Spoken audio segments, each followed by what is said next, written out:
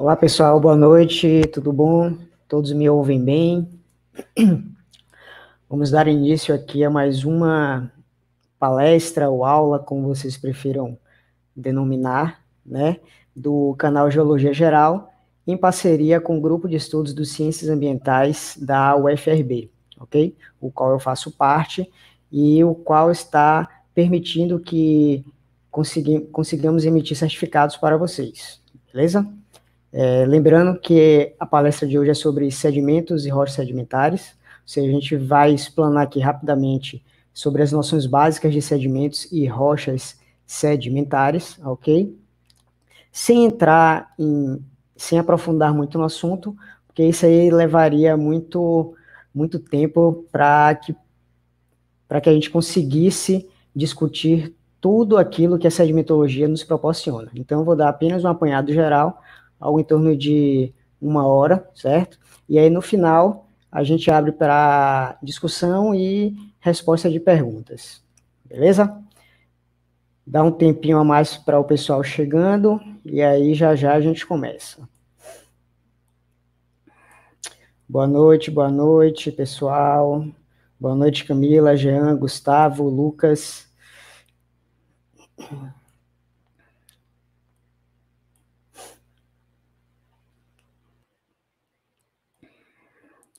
Vamos lá?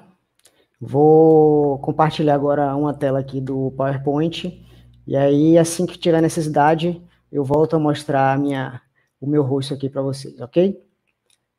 Vamos lá.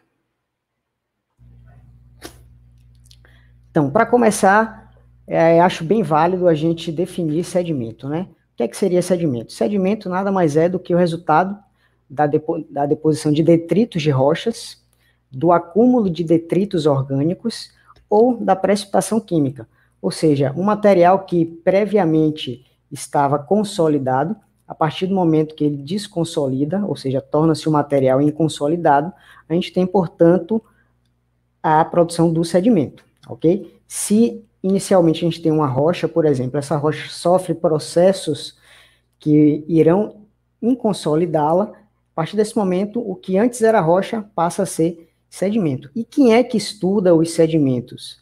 Quem estuda os sedimentos é a sedimentologia. E aí a sedimentologia ela vai além do estudo do sedimento em si. Ela estuda tanto o sedimento, a, a, o processo de formação desse sedimento, até o processo de formação da rocha sedimentar.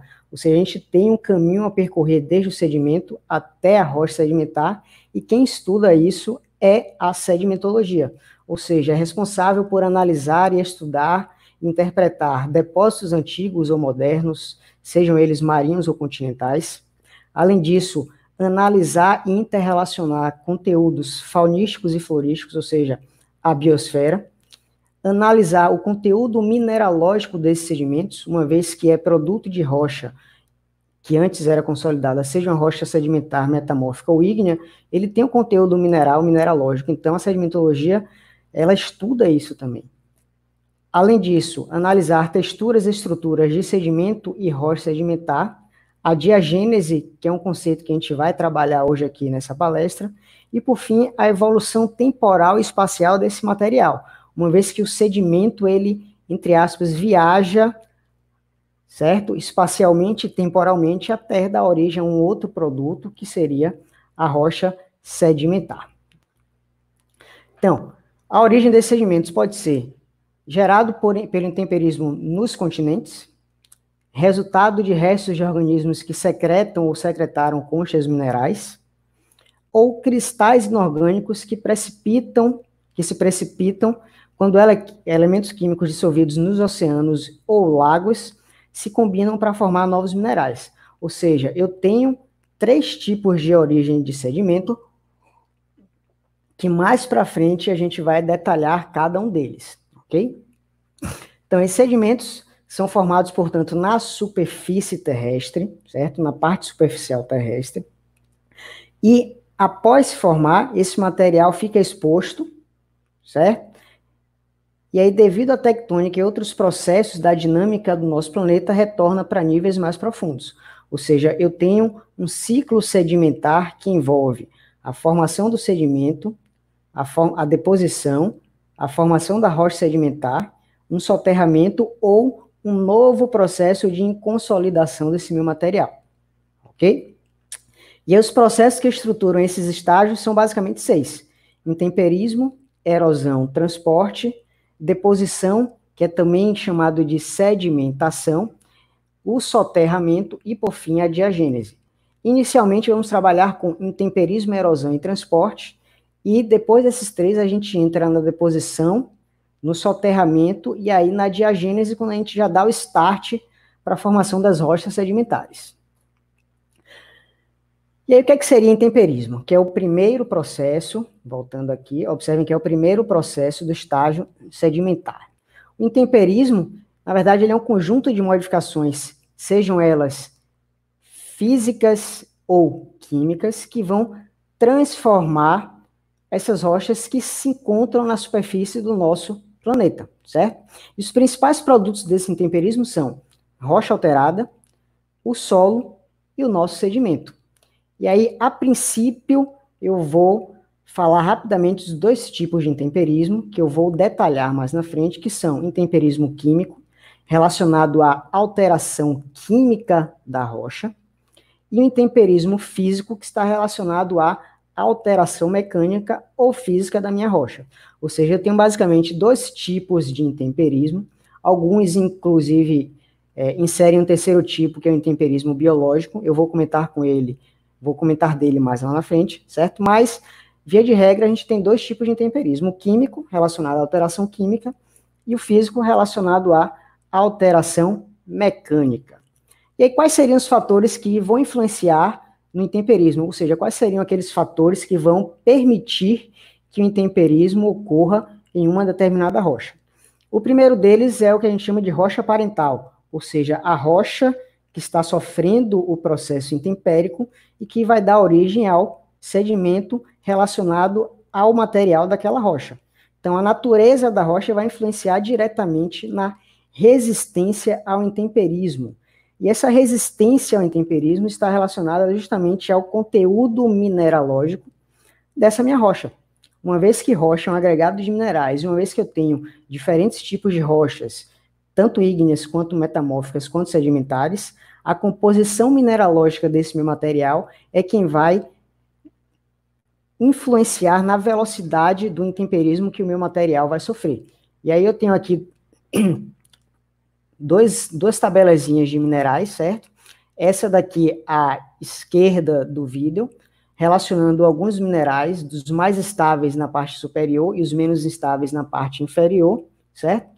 e aqui a velocidade de intemperismo desse meu material. Ou seja, minerais, dióxido de ferro, hidróxido de alumínio, quartzo, minerais, ele tem uma velocidade de intemperismo muito menor do que minerais como a olivina, como a calcita, como a nortita, como o piroxênio. E aí isso é corroborado pela série de Bowen, que é a série de cristalização dos minerais, certo? Muito conhecido e muito estudado pelos geólogos. Observem que eu tenho na série de cristalização descontínua, nessa parte daqui da esquerda, inicialmente, a pressões e temperaturas e profundidades maiores, eu tenho, por exemplo, a formação de olivina. E à medida que eu diminuo pressão, diminuo temperatura e diminuo profundidade, eu vou ter a produção de um biotito, ou seja, uma cristalização fracionada, certo? Fracionalmente os minerais vão se cristalizando à medida que eu tenho essa variação de pressão, temperatura profundidade e tempo, certo? E aqui do meu lado direito eu tenho a série contínua de cristalização. a pressões, temperaturas e profundidades maiores eu tenho a nortita, e à medida que eu diminuo esses valores, eu começo a ter a formação de outros minerais. Ou seja, minerais que se formam ou que se cristalizam a temperaturas, profundidades e pressões maiores ao chegar à superfície, eles sofrem um baque muito maior por conta da diferença de ambiente. Aqui em cima a gente tem uma pressão menor, uma temperatura menor e uma profundidade menor se comparado ao interior do nosso planeta. Então, via de regra, eles são desestabilizados mais facilmente. Por isso que a velocidade de intemperismo nesses materiais é muito mais rápida, muito mais veloz do que aqueles minerais que se cristalizam e que se formam a pressões, temperaturas e profundidades superficiais ou mais próximas da superfície. Então, o clima é outro fator que influencia muito o intemperismo. Como o clima, a gente sabe que é uma variação sazonal de temperatura e distribuição de chuvas. E aí eu trago aqui para vocês um gráfico e um mapa mostrando que quanto maior a pluviosidade e quanto maior a temperatura, eu tenho uma variação dos meus intemperismos químicos e perdão, químico e físico. Ou seja, se eu tenho uma pluviosidade muito elevada e uma temperatura, uma variação térmica muito elevada, ou seja, um ambiente quente e úmido, eu vou ter uma preferência no meu intemperismo químico. Em contrapartida, se eu estou num ambiente mais desértico, onde eu tenho uma variação de temperatura muito elevada, entretanto é um ambiente seco, sem umidade, isso vai fazer com que prevaleça o meu intemperismo físico. Ou seja, o clima ele vai interferir diretamente no tipo de intemperismo que o meu material vai sofrer, certo? Um terceiro fator que é muito importante é o relevo. Relevo nada mais é do que a topografia ou a geomorfologia de um local e ele não trabalha sozinho, ele, ele trabalha diretamente, ele influencia diretamente o meu intemperismo, fazendo uma relação direta com regime sazonal de infiltração e drenagem de águas pluviais, ou seja, das águas da chuva.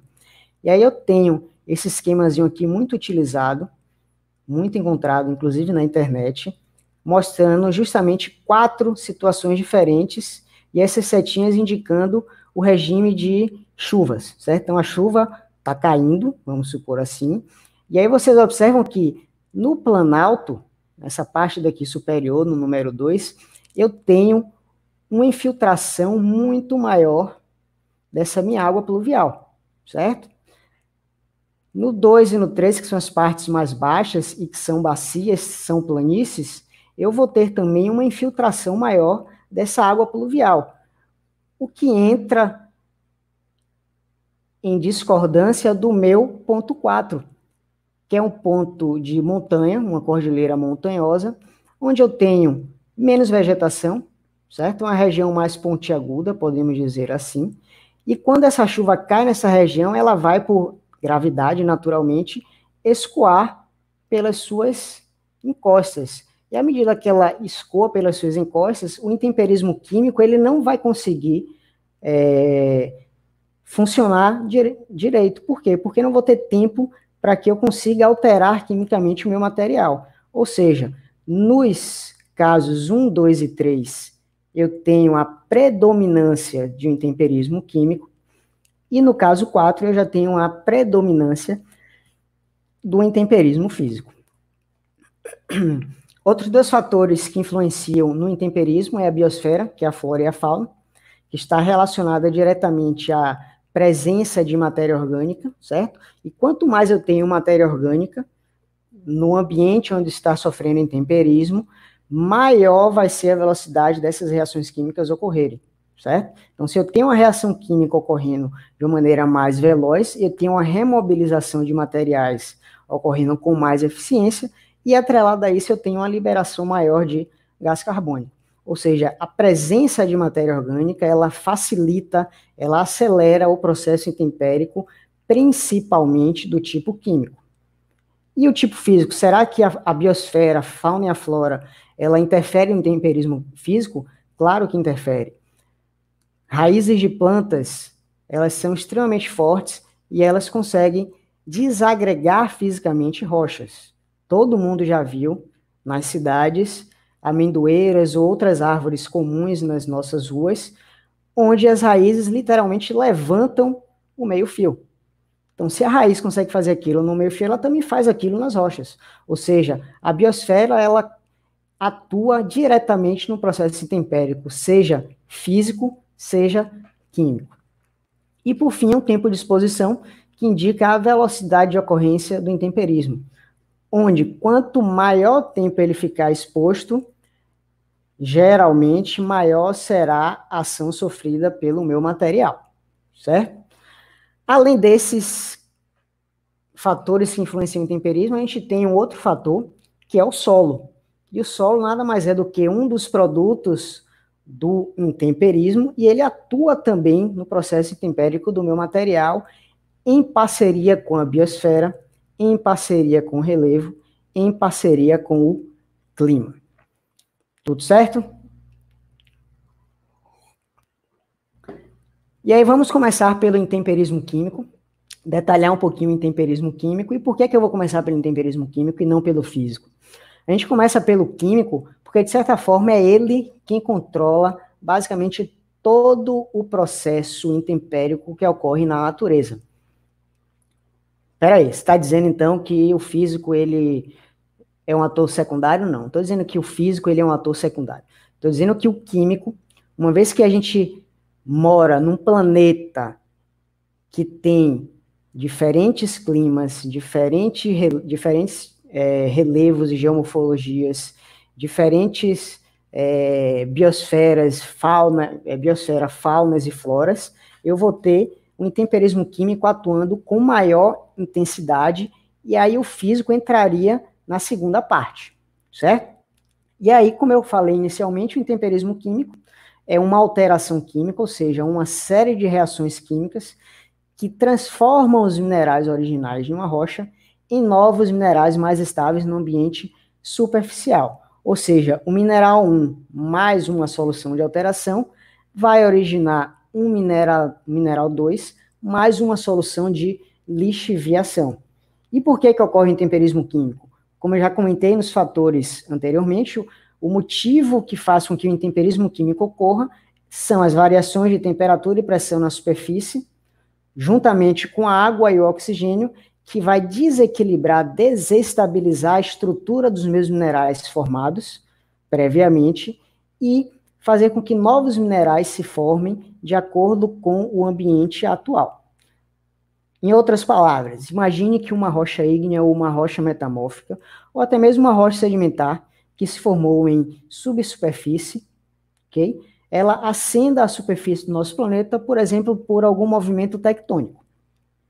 Quando esse material que se forma numa pressão X, uma temperatura X uma profundidade X, chega à nossa superfície, onde a gente tem uma pressão Y, temperatura Y, é, profundidade Y, vai sofrer aquele baque, ele vai desestabilizar. E aí ele vai tentar e vai querer se estabilizar nesse novo ambiente em que ele se encontra.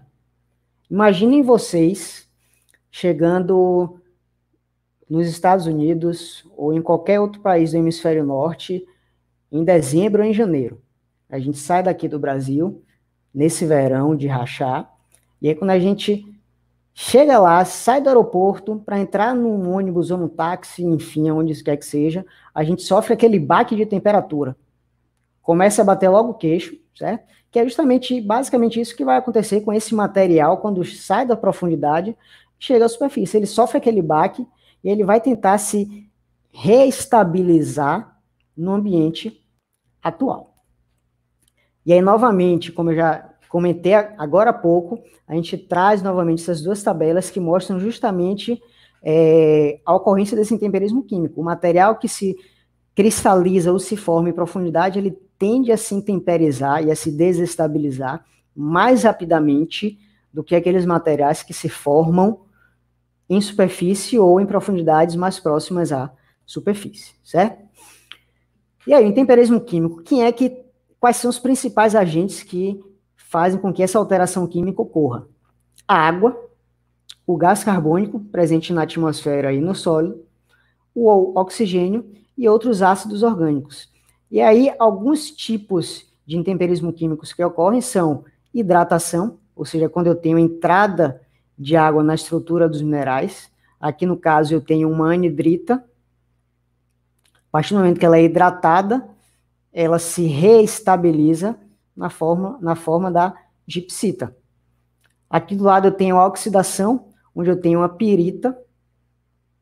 A partir do momento que ela sofre oxidação, e ou hidratação, ela vai se reestabilizar no novo mineral que é a goetita ou guetita, certo? Então aqui já são dois exemplos de como vai ocorrer esse intemperismo químico. Muitos já devem ter visto em vários locais essas crostas ferruginosas que ocorrem em, em muitos locais. O que, o que seria essa crosta ferruginosa? Seria justamente o intemperismo químico ocorrendo naquele material. Eu tenho um material prévio rico em ferro, por exemplo, e à medida que esse material rico em ferro sofre oxidação, esse oxigênio proveniente da atmosfera ou do solo, esse material vai se precipitar e formar essa crosta ferruginosa ou crosta laterítica, como muitos chamam, na superfície do meu material. Ou seja, isso nada mais é do que um processo intempérico químico que está ocorrendo naquele material, processo este que é a oxidação. E outro tipo de intemperismo químico é a hidrólise, quando eu tenho a destruição da estrutura do meu mineral, e a partir do momento que eu tenho essa destruição, eu libero cátions e ânions, removidos pela drenagem, e aí a partir do momento que eles se recombinam, eles geram outros minerais, novos minerais, mais estáveis nesse novo ambiente do que os minerais prévios que se formaram em ambientes diferentes do superficial. Ok? E aí eu trago essa imagem dessas duas, dessas duas, duas não, dessas várias lápides, certo? Para mostrar e te tentar mostrar, na verdade, virtualmente, como é que isso ocorre. É, eu, quando era estudante de geologia, eu, quando era estudante de, de geologia, eu, na disciplina de geomorfologia, se não me falha a memória, geomorfologia, meu professor na época, Geraldo Lerry, não esqueço até hoje, mandou que fizéssemos um trabalho num cemitério aqui de Salvador. Eu parei e pensei, puta merda, como é que fazer que diabo eu vou fazer num cemitério em Salvador? O que é que eu vou estudar no cemitério de Salvador? E aí depois que eu fui para esse cemitério de Salvador, eu entendi o porquê que ele mandou a gente ir para um cemitério em Salvador. O que é que a gente tem em cemitério? Inúmeras lápides, inúmeras lápides formadas, formadas não, de vários tipos de rochas diferentes, certo?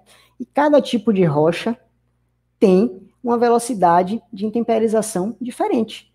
Ou seja, em um cemitério eu pude analisar justamente os fatores intempéricos agindo nessa, nessas lápides e mostrando claramente diferentes velocidades para diferentes materiais em diferentes tempos. Como assim diferentes tempos?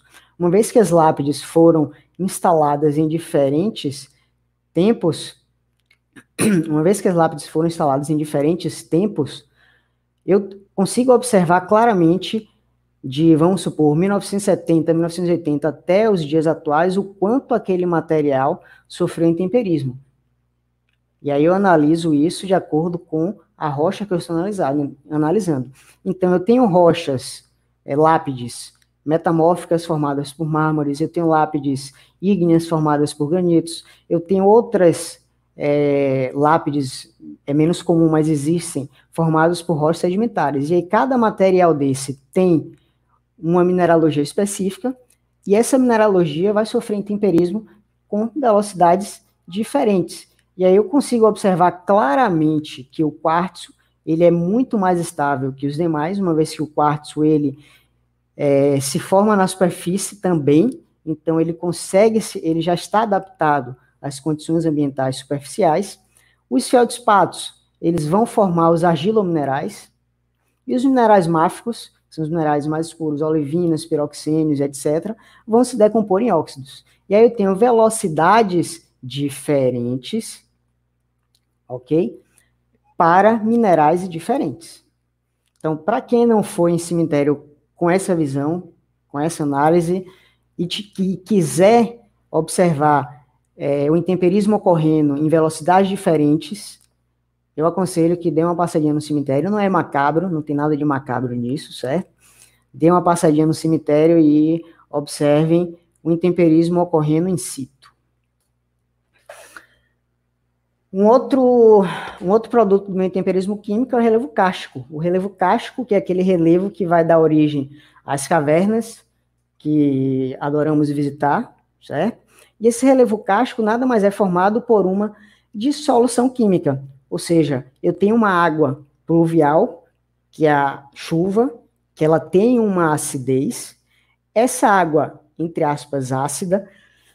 À medida que ela percola, ou seja, ela infiltra na rocha, ela captura, ela dissolve material, e aí a partir dessa dissolução, quando esta água entra em contato com o ar atmosférico da caverna, ela vai precipitar novamente.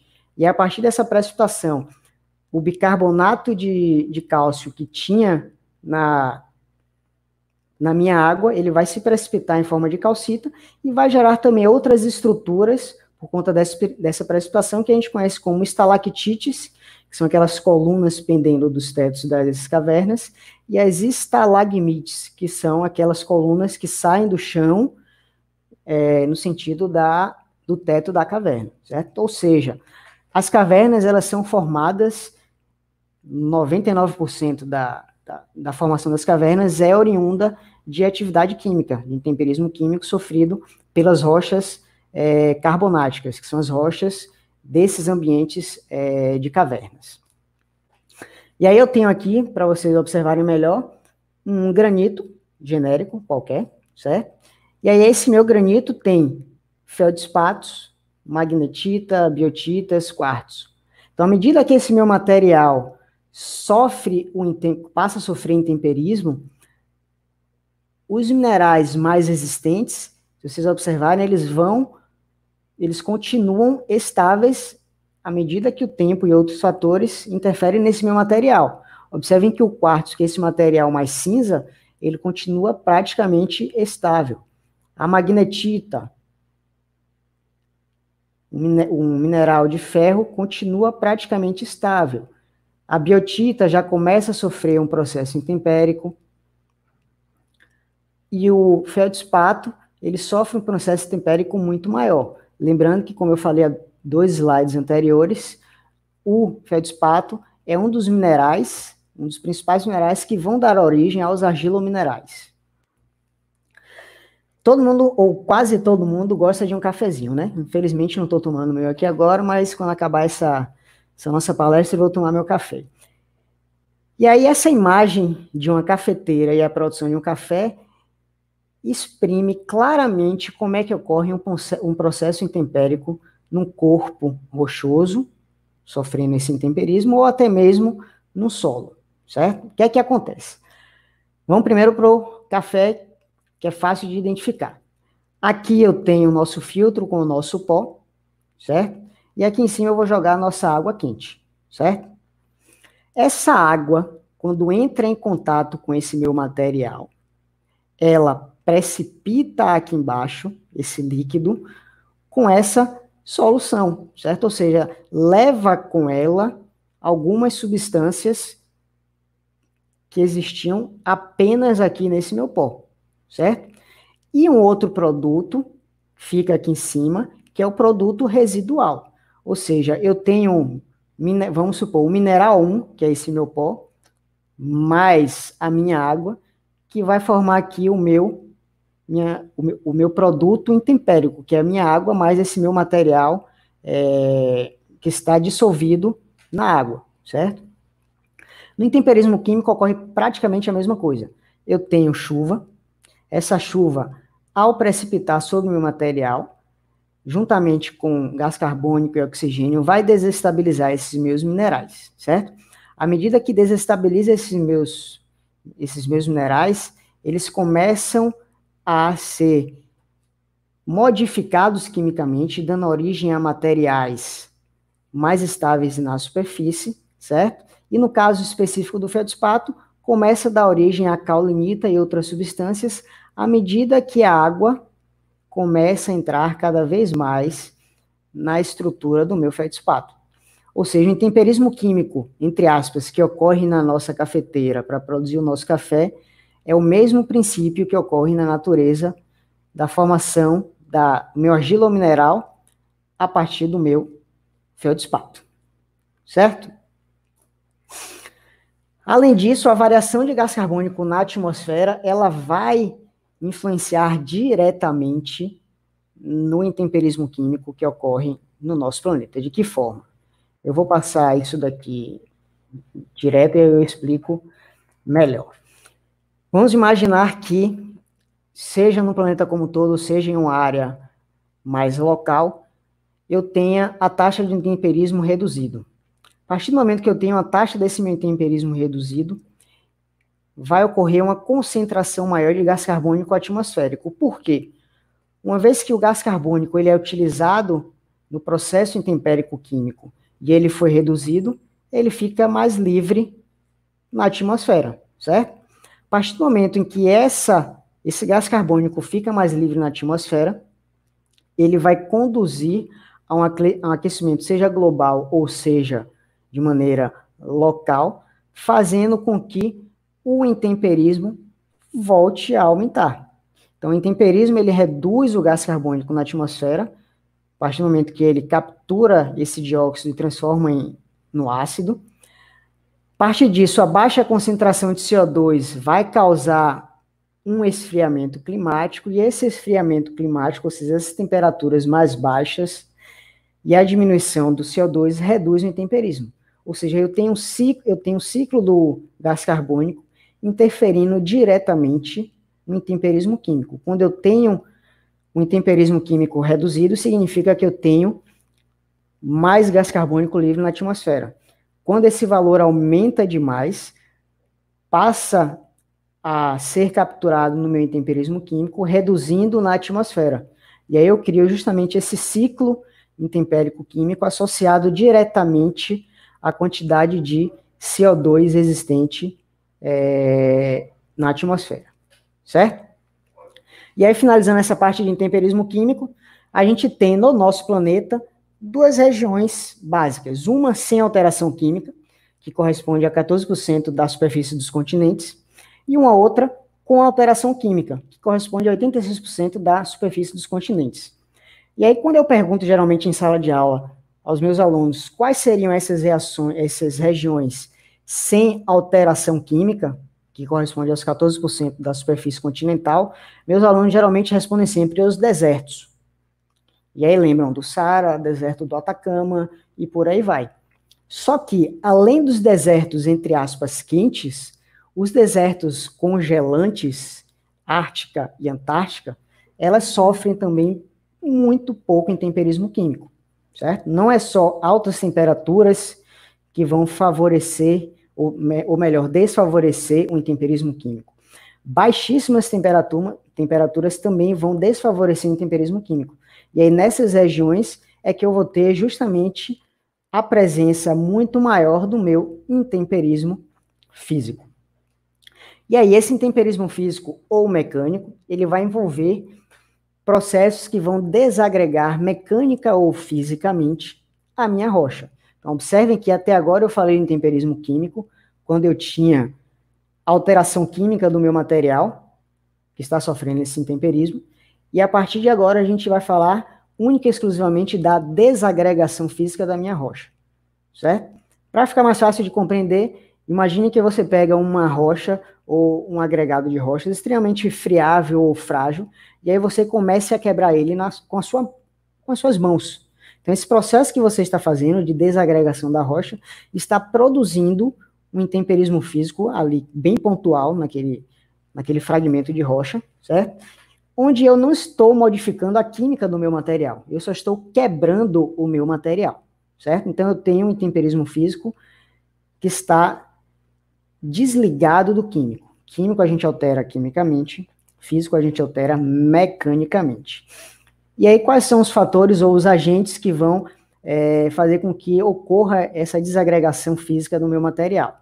A gente tem a variação da temperatura, seja muito alta, seja muito baixa, ou seja, termoclastia e crioclastia, certo? Está relacionado a temperaturas muito altas, por exemplo, em desertos quentes e temperaturas muito baixas em desertos frios. Isso aí vai promover a dilatação dos minerais e da água, e esse processo de dilatação vai favorecer a desagregação do meu material. Além disso, eu tenho a cristalização de sais.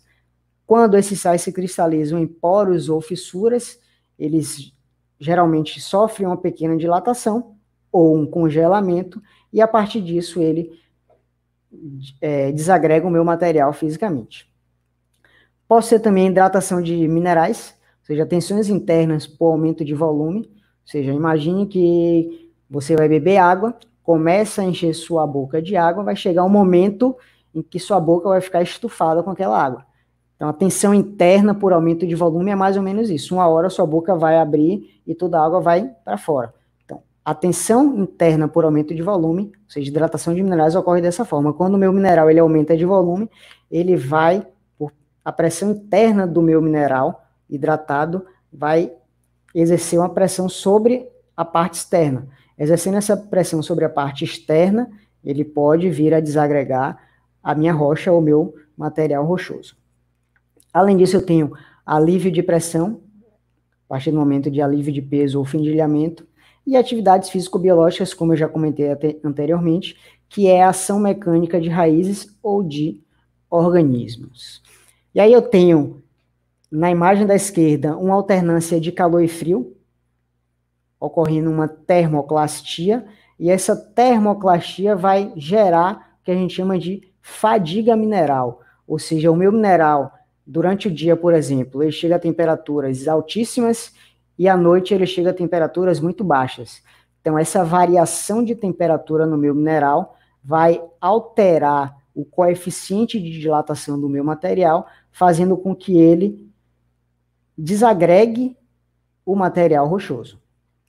E aí, na minha figura à esquerda, com um esquemazinho aqui embaixo, eu tenho justamente a crioclastia. Então, essa minha rocha, ela foi desagregada, ela foi quebrada, ela foi partida por conta da ação da água, no caso do gelo. Ou seja, a água infiltrou nessas porções, congelou. E é como todo mundo sabe lá do ensino médio, a água ela tem uma característica especial que ao congelar, ela sofre uma dilatação. Então, a partir do momento que essa água que estava aqui nessas fissuras, ela congelou, ela dilatou. A partir do momento que ela dilata, ela empurra o meu material. A partir do momento que ela empurra o meu material para fora, ela desagrega essa minha rocha. Um outro tipo de intemperismo físico é o que a gente chama de fragmentação por esfoliação esferoidal, ou alívio de pressão. Como é que ela ocorre? Imagine com um corpo ígneo plutônico, começa a introduzir a superfície e chega à, zona superficial. A partir do momento que ele chega à zona superficial, como eu também já expliquei na live anterior de dinâmica interna da Terra, ele chega e forma esse relevo meio dômico, certo? A partir do momento que ele forma esse relevo meio dômico, esse material que se formou em profundidade, ao chegar à superfície, ele vai desestabilizar e tende a sofrer fraturas por alívio, certo? Uma vez que o meu material está num ambiente diferente da sua formação. A partir do momento em que ele começa a resfriar aqui em cima, a partir do momento que ele entra num novo ambiente, esse meu material, ele se fratura, e a partir do momento que ele se fratura, por gravidade, o que está na parte de cima vai cair. E aí gera essa esfoliação esferoidal, que a gente chama também como casca de cebola, onde as partes mais externas do meu material são mais frágeis do que a parte mais interna, que é o núcleo. Ou seja, eu tenho um material muito mais coeso, muito mais estabilizado no centro, só que à medida que esse material vai chegando à superfície, ele também vai se desestabilizando. Ou seja, essa minha casca de cebola, essa minha fragmentação por esfoliação esferoidal, ela ocorre da parte externa para a parte interna. Lembrando que é uma desagregação física, eu não tenho alteração química no meu material. E aí eu tenho também zonas naturais de fraqueza, que a gente chama de fraturas ou falhas, certo? Que desagrega o meu material. E eu tenho também a ação mecânica ocasionada por raízes ou outros organismos. Ou seja, as raízes, à medida que elas se aprofundam no solo ou na rocha, ou elas é, se desenvolvem de maneira radial, elas têm força o suficiente para desagregar mecanicamente esse meu material.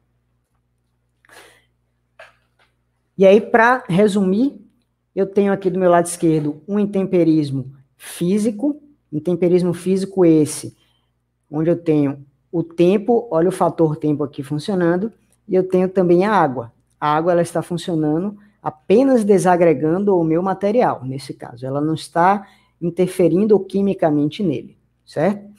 E aqui do meu lado direito, eu tenho intemperismo químico em rocha calcária, que é o que eu comentei quando eu falei das cavernas. Ou seja, eu tenho uma rocha aqui de composição carbonática, seja um calcário, seja um dolomito, ou seja até mesmo uma rocha metamórfica do tipo mármore, certo? À medida que essa água, por exemplo, água de chuva, que tem um teor de acidez, ela entra em contato com esse meu material rochoso, ela vai capturar elementos químicos desse meu material e vai precipitar futuramente em outro elemento mais estável. E aí forma o meu intemperismo químico. Então eu tenho de um lado o intemperismo físico e do outro o intemperismo químico. Certo? E temos a erosão. Muita gente confunde temperismo e erosão, acham que é a mesma coisa, só que tem umas diferencinhas, umas de pequenas diferenças, certo? Inicialmente, a gente intemperizou o meu material, ou seja, desagregou, seja física ou seja quimicamente, e agora esse meu material, ele precisa, ele vai, na verdade, ele ser transportado. Então, a erosão, ela é definida, portanto, como o processo que está relacionado ao desgaste, ao transporte e à sedimentação do meu material desagregado. Ou seja, o intemperismo, ele faz parte da erosão. Não são a mesma coisa. Então, o intemperismo, hierarquicamente, ele faz parte da erosão, certo? E ambos são muito importantes porque eles modelam o relevo e aí dá essa variedade enorme na geomorfologia em consonância, em parceria com outros movimentos, dinâmica interna da Terra, presença de, de ventos e por aí vai, certo? Então, a gente intemperizou o material, e agora esse material, após ser transportado pela erosão, ele vai ser depositado e sedimentado em algum lugar. E aí a gente entra agora na deposição e soterramento do meu material, certo? Então, isso daqui exprime os principais ambientes de sedimentação que existem no nosso planeta, certo? A gente tem ambientes lacustres relacionados a lagos, ambientes deltaicos relacionados a deltas, ambientes desérticos, ambientes praiais, ambientes glaciais, ambientes marinhos de mar raso, plataforma continental ou mar profundo relacionado a correntes turbidíticas, certo? E esse ambiente de sedimentação, o que é que ele é? Na verdade, é um lugar ou um local geográfico que é caracterizado por uma combinação tanto de processos geológicos quanto de condições ambientais. Ou seja, eu tenho interferência aqui do clima, eu tenho interferência da energia do local, eu tenho interferência do tipo de transporte que o meu material está sofrendo, certo? Então, só para vocês terem uma ideia, tá em inglês, mas só para vocês terem uma ideia, cada ambiente que eu comentei anteriormente, lacustre, aluvial, desértico, deltaico, praial, é, marinho raso, marinho profundo, ele ocorre de acordo com o agente de transporte, o tipo de sedimento, o clima que ocorre naquele local e os processos orgânicos, ou seja, a deposição, a sedimentação desse meu material não ocorre da mesma maneira em todos esses ambientes. Eu vou ter tipos diferentes de sedimentos de acordo com diferentes tipos de clima, diferentes tipos, tipos de agentes de transporte e diferentes tipos de processos orgânicos, certo? E aí, só para vocês terem uma ideia de alguns critérios de classificação que a gente utiliza para sedimentos e também para rochas sedimentares, a gente tem tamanho de grão, composição, textura, cor, os clastos mais importantes, ou seja, os fragmentos de rochas mais importantes, e outras características é, não menos importantes, mas essas cinco listadas são as que a gente mais utiliza para caracterizar um material sedimentar, seja ele desagregado, sedimento, seja ele consolidado, no caso, uma rocha. Então, tamanho de grão a gente basicamente divide em três tipos, que é médio, grosso e fino, onde o grosso a gente considera maior do que 2 milímetros, que aí viria o cascalho ou o conglomerado, e o conglomerado. o médio entre 2 milímetros e 0,062, que seria a areia, certo?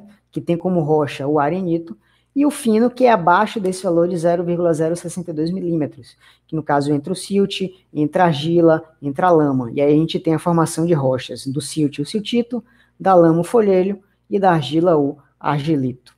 Então, só para vocês terem uma ideia aqui visual, então eu tenho aqui os diferentes tamanhos de grão, e a cada tamanho de grão desse a gente dá um nome específico. No caso, aqui está em em português de Portugal, balastro, na verdade, é cascalho. Então, aqui a gente tem material cascalhoso, material arenítico e material mais fino, que seriam as argilas e o silt. Um outro critério muito utilizado para classificação é o grau de selecionamento. Ou seja, a gente classifica um material, seja ele um, um, um aglomerado sedimentar ou uma rocha sedimentar, em muito pobre, pobre ou muito selecionado, ou, perdão, mal selecionado e bem selecionado. O que é que isso quer dizer? Quando a gente tem um material, ou um agregado de, de grãos sedimentares, ou uma camada de rocha sedimentar, em que o tamanho dos grãos ele é praticamente o mesmo ou muito próximo, a gente diz que o meu material ele está bem selecionado. Em contrapartida, quando eu tenho tamanhos de grãos variados, eu digo que o meu material ele está mal selecionado. Isso é importante porque nos ajuda a inferir, interpretar e analisar ambientes pretéritos que permitiram a deposição desse material. Ou seja, se era um ambiente com mais energia, se era um ambiente com menos energia, se era um, um ambiente com a topografia mais elevada, se era um ambiente com a topografia mais baixa, certo? Um outro critério utilizado é o grau de arredondamento, onde eu tenho materiais mais angulares e materiais mais arredondados, ou seja, suas arestas aqui elas estão mais pontiagudas e aqui as minhas arestas elas estão mais arredondadas. Isso indica também a energia ou transporte que o meu material sofreu. A grosso modo, materiais mais arredondados indicam que ele sofreu um transporte muito maior do que um material onde ele é mais anguloso, onde ele apresenta arestas mais vivas, certo? E dois outros critérios muito importantes, muito utilizados principalmente na, é, na parte de geologia de recursos é, hídricos, que é a porosidade e a permeabilidade. Muitas vezes as pessoas confundem ou acham também que são a mesma coisa, mas são dois conceitos completamente diferentes. A gente tem a porosidade, que é a razão entre o volume total de espaços não ocupados por material sólido, que pode ser primária, quando ela é formada no momento da deposição do sedimento, ou secundária, quando ela é formada após a deposição desse sedimento, certo? E o segundo conceito é a permeabilidade, que é a capacidade de uma rocha transmitir fluidos. Eu gosto muito de reconceituar a permeabilidade para interconexão dos meus poros. Por quê? Se eu tenho poros, se eu tenho uma rocha porosa, só que esses poros eles não estão conectados, não vai permitir que um fluido, seja ele, por exemplo, um petróleo, seja ele água, ele percorra, ele infiltre-se nessa minha camada rochosa. Por quê? Porque os meus poros, eles não estão, não estão conectados, ou seja, ele é muito poroso, ele pode ser muito poroso, só que a permeabilidade dele é baixa. Uma vez que a permeabilidade é a capacidade da rocha de transmitir esses fluidos, certo? Então, a permeabilidade é, pode ser conceituada como a conexão dessa porosidade. Eu posso ter um material muito poroso e pouco permeável. Um outro critério é o empacotamento desse meu material, dessas minhas partículas, que está relacionado também à porosidade do meu material. E empacotamento nada mais é do que a disposição espacial dessas minhas partículas, certo? E aí a porosidade e a permeabilidade, como eu já comentei, alguns fatores, são influenciados por tamanho de partícula, empacotamento, forma das partículas, coeficiente de seleção e orientação dessas minhas partículas. Ou seja, são cinco fatores que vão definir se o meu material apresenta boa ou má porosidade, boa ou má permeabilidade, certo? Só para vocês terem uma ideia, eu tenho aqui duas unidades de fluxo, ou seja, aqui o meu material ele é poroso e ele é permeável, e aqui eu tenho três barreiras de permeabilidade, ou seja, esse material que está aqui, o fluido que está é, percorrendo essa minha camada, ela não tem capacidade de chegar à camada superior, uma vez que eu tenho essa bar barreira de permeabilidade que não permite que isso aconteça. A mesma coisa se um fluido que esteja aqui em cima queira, por exemplo, descer para aqui. Não vai conseguir porque eu tenho essa barreira de permeabilidade. Então, esses conceitos são muito utilizados para perfuração de poços, tanto relacionado a petróleo e gás, quanto relacionado à busca de água é, em aquíferos. Então, intemperizamos nosso material, erodimos nosso material, ou seja, transportamos, depositamos e sedimentamos esse material. Partir desse momento, eu começo a ter a formação da rocha sedimentar. E aí vale a pena trazer esses dois dados bem interessantes.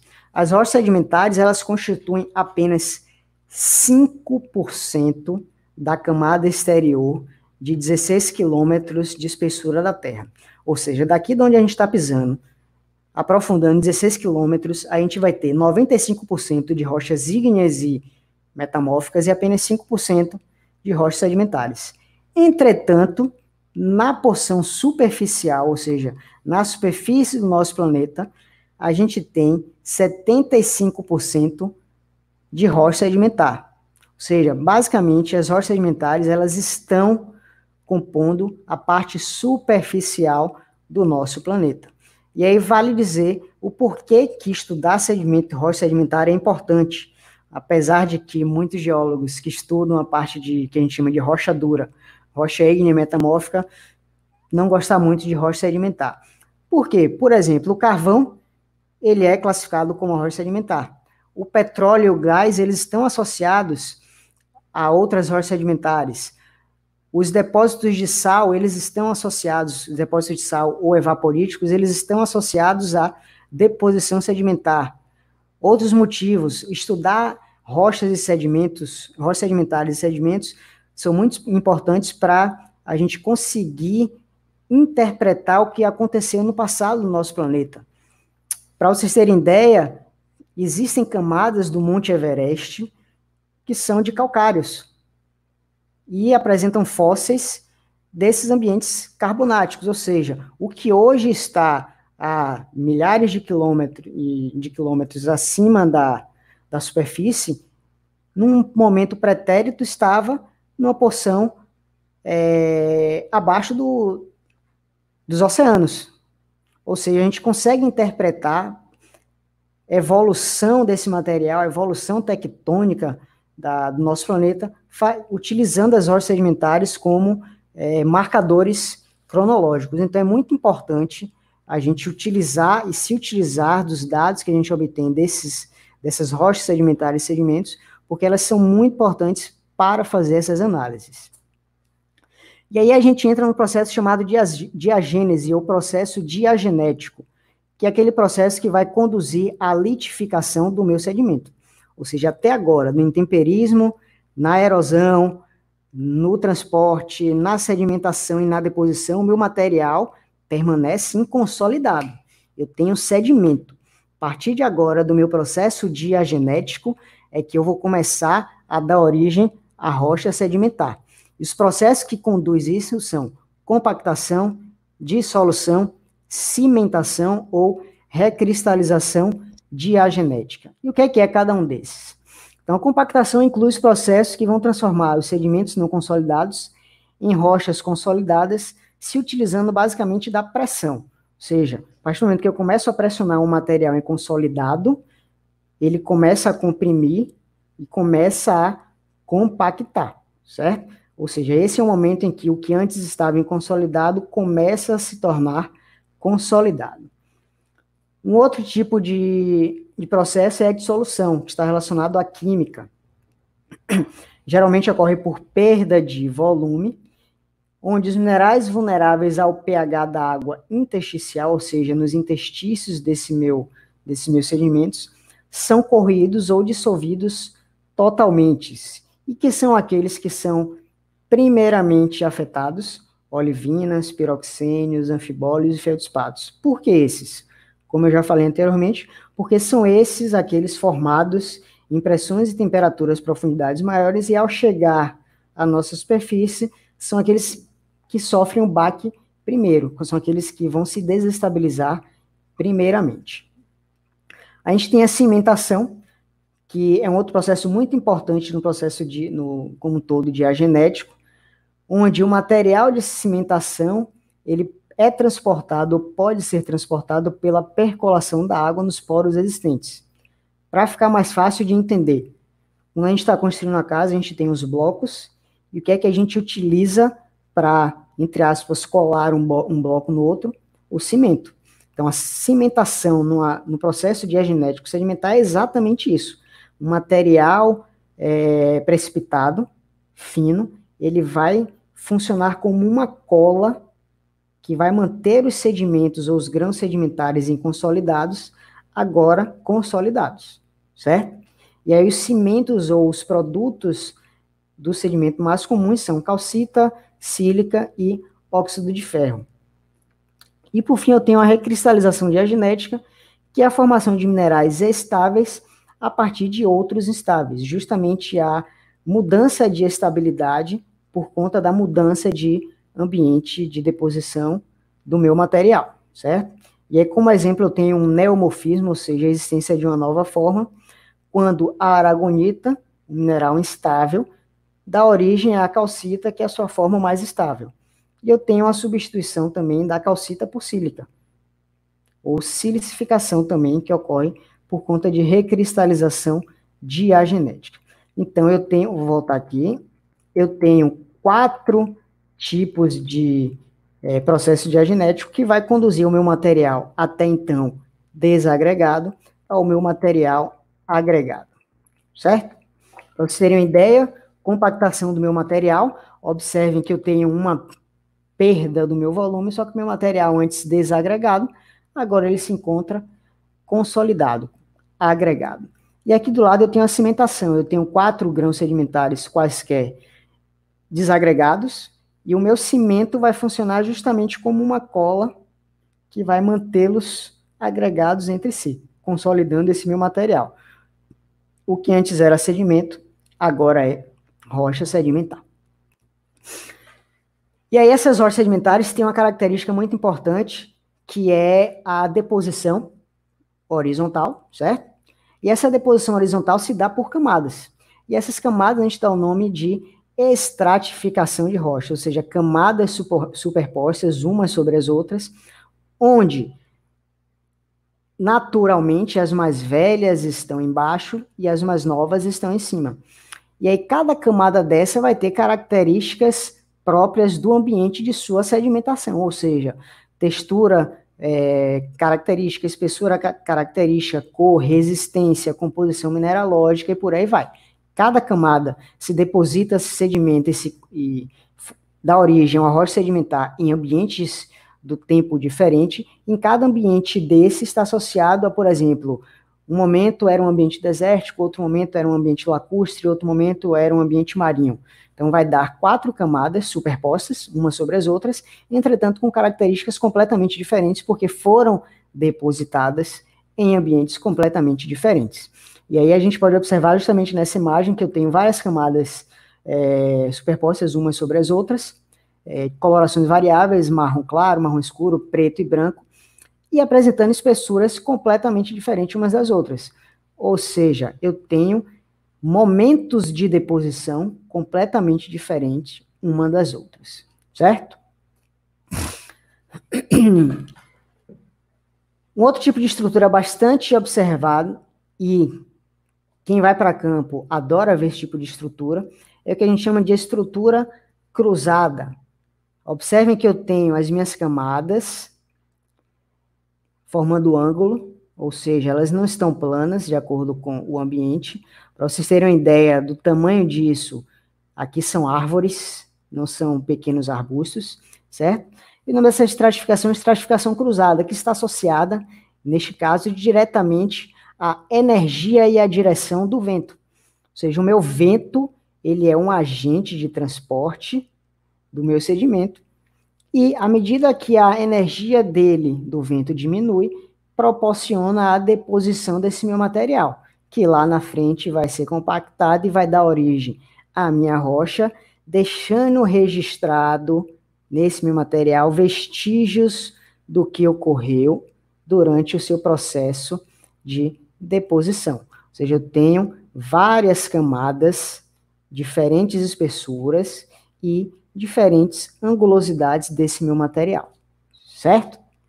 Um outro tipo de estrutura muito observado, quem já foi em praia, acredito que todos vocês que estão assistindo já foram em praia, e já observaram isso daqui na areia de praia, certo? Essas micro nanodunas, como se pode dizer, certo? À medida que a gente vai caminhando, a gente vai observando essas pequenas dunas que a gente chama de ripples, que são marcas de ondas provenientes do vai e vem das ondas, que está relacionado às marés mais altas e marés mais baixas.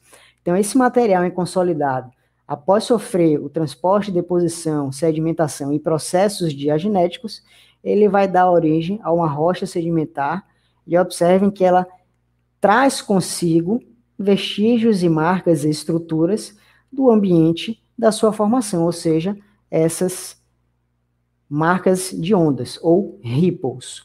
E aí a gente pode ter marcas de ondas assimétricas, quando tenho a mesma energia indo em uma direção. Ou eu posso ter marcas de ondas ou ripples assimétricas, quando eu tenho uma direção preferencial de energia com maior intensidade.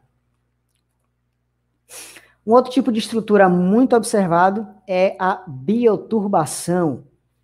Essa rocha sedimentar com esse aspecto meio alienígena nada mais é do que vestígios ou vestígios de tubos de diversos tamanhos e diversas espessuras, produzidos por molusco, produzidos por vermes ou por outros tipos de organismo, e que ficam também registrados no meu material sedimentar após a sua compactação. Ou seja, isso daqui, uma vez que eu estou fazendo campo, encontro isso em algum em algum afloramento, isso daqui vai me dar, vai me fornecer é, características do ambiente da formação dessa minha rocha. Então, eu dato a minha rocha, vamos supor, certo? Datei essa minha rocha, e a partir do momento em que eu datei a minha rocha, eu vou conseguir fazer a correlação da fauna e da flora que ocorria naquele meu ambiente, a partir do momento em que eu analiso essas estruturas, e a partir do momento que eu analiso aqueles outros critérios é, sedimentares, tamanho de grão, é, grau de arredondamento, de selecionamento. Ou seja, um único fragmento de rocha consegue me fornecer informações diversas sobre o ambiente pretérito do nosso planeta. E aí a gente classifica as rochas sedimentares em plásticas ou terrígenas e químicas. As terrígenas, é, conceitualmente, são acumulações de materiais resultantes de processos erosivos e transformados na forma de partículas, ou seja, um material que foi desagregado, foi erodido e foi transportado, não sofreu mais processo químico e o químico que ocorre justamente a partir do momento que eu tenho uma precipitação química, seja de origem inorgânica ou orgânica, e que vai gerar essa minha rocha, certo? Então, as terrígenas, os principais componentes são é, minerais de argila ou argilominerais e quartzo. Por que argilominerais? Porque no meu processo tempérico, o que eu tenho é a produção de argilominerais, de feldspatos e outros minerais mais facilmente intemperizados, é quem vão dar origem a esses argilominerais. E o quartzo, porque é um mineral mais resistente na nossa superfície, certo? É, como eu já comentei, esses argilominerais são produto de alteração de silicatos, especialmente dos feldspatos, e o quartzo por ser o mais resistente. E aí o tamanho das partículas, ele é uma característica muito importante para analisar essas rochas clássicas, porque permite distinguir os vários tipos de rochas e analisar por exemplo, a energia da deposição e da sedimentação no momento em que aquela minha rocha, que aquele meu material foi compactado, dando origem à rocha sedimentar. Então, se eu tenho, por exemplo, uma rocha é, com grãos muito grandes, cascalhos, matacões e brechas, fragmentos centimétricos, por assim dizer, centi é, centímetros até métricos, eu consigo imaginar, consigo inferir que o ambiente de deposição ele era de alta energia. Porque para conseguir depositar fragmentos tão grandes, eu preciso de uma energia muito grande, certo? E, em contrapartida, se eu tiver uma rocha sedimentar formada por argila silt ou argilitos e siltitos, eu vou conseguir, eu vou inferir que o ambiente de deposição, a energia de deposição daquele meu material naquela época era uma energia muito baixa, que permite com que esse meu material saia da suspensão aquosa e consiga, portanto, depositar, decantar e depositar no fundo é, do meu lago, ou do meu rio, ou do, do meu oceano, certo? E aí, só para ter uma visão geral, tem esse esqueminha aqui, onde eu tenho a matriz, que é a parte mais fina da, dessa minha rocha sedimentar, o arcabouço, que são os clastos ou os fragmentos maiores, e o cimento, que é essa, esse meu material aqui oriundo de precipitação química. Marcos, o que é que difere então o sedimento da matriz? A matriz, na verdade, ela é o material sem a precipitação, porém é, de granulometria menor. Ou seja, eu tenho na matriz é, o material sem a precipitação química de granulometria menor, uma areia mais fina, um silt, um ou uma argila. E o cimento, ele é oriundo da precipitação química do meu material, que vai funcionar como uma cola que vai contribuir para a compactação desse meu material antes inconsolidado e que agora deu origem à rocha sedimentar. Certo? Então, a grosso modo, material cascalhoso dá origem a uma rocha conglomerática, que é o conglomerado. O material mais arenoso dá origem a uma rocha arenítica, que é o arenito. O material mais siltoso, que é o silt, dá origem a uma rocha siltítica, que é o silt, é o siltito, perdão. E o material mais argiloso dá origem a uma rocha é, argilítica ou argilito, também conhecido como folhelho. Beleza? E aqui alguns exemplos reais, né? conglomerados. Observem que eu tenho aqui conglomerados. Eu tenho aqui um material mais arenítico, oriundo de, por exemplo, uma areia de praia que se depositou, sedimentou, foi compactado, deu origem a essa minha rocha arenítica. E observem que essa daqui é um material mais fino, provavelmente um folhelho, ou um argilito, ou um siltito. E eu tenho nela é, vestígios da ocorrência de algum vegetal, ou seja, algum vegetal que foi depositado por cima desse meu, desse meu material e deixou nela a sua identidade. E aí eu consigo analisar nesse meu material idade do meu, da, da minha rocha, energia da minha rocha, o tipo de, de, de, vegetação dessa que existia nessa minha época, inferir todo o ambiente de formação, deposição, sedimentação, que deu origem a essa minha rocha sedimentar. E as rochas químicas, em contraste com as detríticas, são formadas de grão, que são formadas é, de grãos resultantes da erosão e alteração das rochas. As químicas, elas são, na verdade, resultado de precipitação em solução desse meu material, seja em lago ou seja em mar ou mares. Então, esses materiais, eles não permanecem em solução indefinidamente. A partir do momento em que a energia do meu, do meu material, da minha solução diminui, esse meu material precipita e aí se deposita no fundo aquoso, certo? Pode ter origem tanto inorgânica como origem orgânica. Um tipo de depósito inorgânico é, são os depósitos de sal ou depósitos evaporíticos, onde eu tenho a vaporização da água marinha em ambientes rasos, proporcionando um acúmulo maior do sal, que aí depois é retirado e comercializado, que é justamente esse sal que a gente utiliza no dia a dia.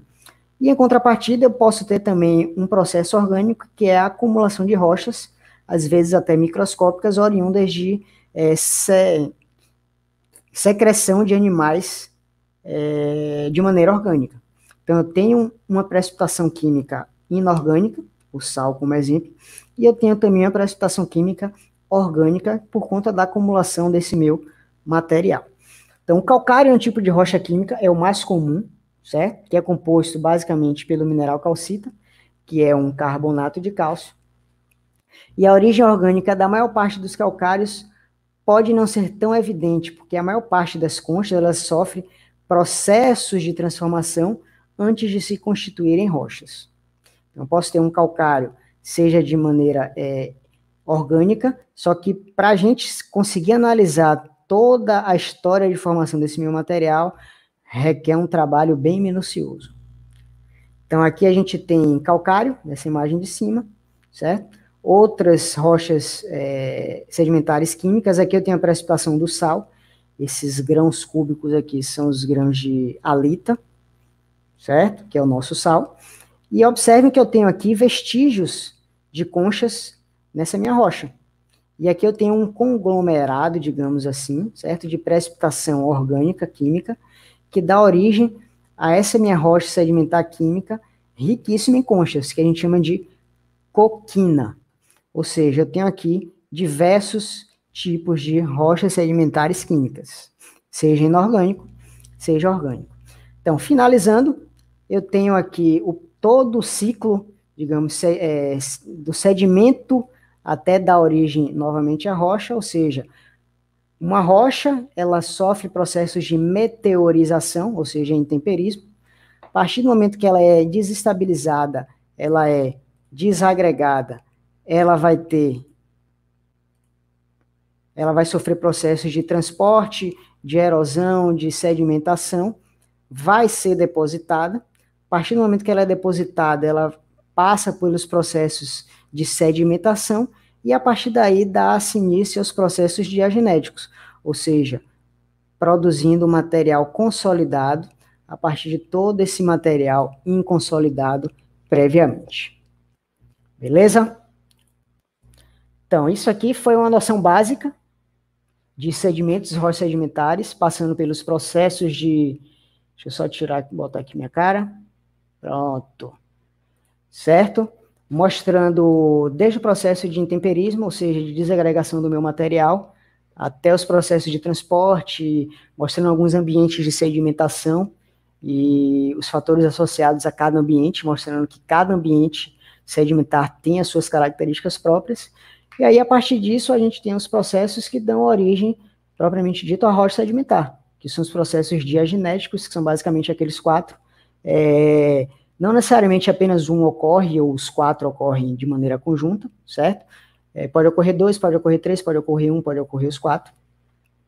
Dando origem, portanto, às rochas. A gente vai ter rochas sedimentares físicas, ou, perdão, terrígenas e rochas sedimentares é, químicas.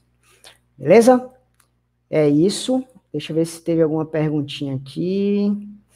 É, só lembrando o formulário, para quem tiver interesse em certificado, ele está disponível na descrição dessa legenda. E a partir do momento que é o nosso, nosso ao vivo terminar, deixarei por mais meia hora e aí eu tirarei do ar. Beleza? Lembrando que isso é em parceria com o Grupo de Estudos de Ciências Ambientais da, da UFRB, do Centro de Ciências Agrárias, Ambientais e Biológicas, do qual eu faço parte, e é quem está justamente permitindo que é, emitamos esses certificados para vocês, que vai servir lá na frente como atividade complementar. Hum... Driel Lima perguntou: Isso influencia na temperatura? Uma vez percebi que as duas estavam expostas ao sol, mas uma delas estava fria. Hum, eu não lembro exatamente ao que Driel está se referindo. Guilherme aqui respondeu se o albedo, a cor escura absorve a luz clara e reflete. Então, o Guilherme aqui comentou que aquela imagem anterior não era uma, não era uma pirita. Então, não era uma pirita com hábito botroidal. Na verdade, eu tinha a pirita na imagem superior, certo? E a partir do momento que eu tenho processos químicos ocorrendo, a perita vai me dar origem à goetita botroidal. Então, a perita, ela não era botroidal. Quem era botroidal era justamente a goetita. Beleza, Guilherme? Hum, Gustavo Luiz. Em relação ao processo de variação de temperatura no ambiente, para que tenhamos o processo físico, há algum valor de referência em graus para que o processo de desagregação aconteça? Então, Gustavo, na verdade, aqui ele complementa. Exemplo, variação de graus por tempo y, variação de x graus por tempo y ou algum tipo. Não, na verdade, não, porque o, o, a temperatura ela não vai ocorrer de maneira isolada. A temperatura ela ocorre juntamente com os outros fatores e se, por exemplo, nesse ambiente quente e úmido que nós vivemos aqui em Salvador, região metropolitana, Cruz das Almas, etc., recôncavo de uma maneira geral, eu tenho uma variação de temperatura, uma temperatura X e um tempo Y, em um outro ambiente, por exemplo, desértico, esses valores eles vão se alterar. Ou seja, eu não, não consigo é, estabelecer um valor preciso de referência para que o processo de desagregação aconteça, porque esse processo de desagregação, o, o, a temperatura, ela está sempre relacionada a outros processos, ela não vai ocorrer de maneira isolada. Hum, basicamente é isso, é, não tem mais nenhuma pergunta aqui. Lembrando que vai ficar salva essa, esse, essa, essa palestra aqui no canal do, do YouTube, é, a gente está, nós do Geologia Geral, não só eu, no Geologia Geral, somos três, três geólogos. Lá no Instagram a gente continua publicando muito material bacana, lembrando que quinta-feira a gente vai ter um outro ao vivo lá no Instagram, certo? Com o Diego e Lucas, que são os outros, juntamente comigo, que fazem parte do Geologia Geral. É, e basicamente é isso. Muito obrigado pela, pela paciência de todos e até uma próxima.